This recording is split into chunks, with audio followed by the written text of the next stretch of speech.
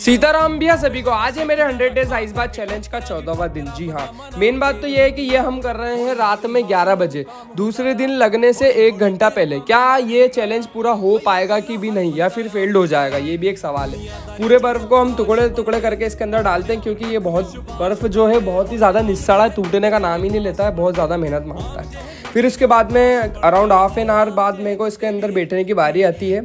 और प्रार्थना करता हूँ क्योंकि ये बहुत ज़्यादा ठंडा और रात में एक तो अलग हवा अलग चल रही ठंडी ठंडी तो ये पूरा हो पाएगा कि भी नहीं। मेरा पाँच मिनट का काउंटडाउन स्टार्ट हो जाता है। मेन बात इसकी एक खास बात ये है कि अभी तक तो मुझे इसमें ये मैं जब से कर रहा हूँ, चौदह दिन से मेरे को अभी तक कोई साइड इफ़ेक्ट्स देखने को नहीं मिले हैं। और भगवान करें।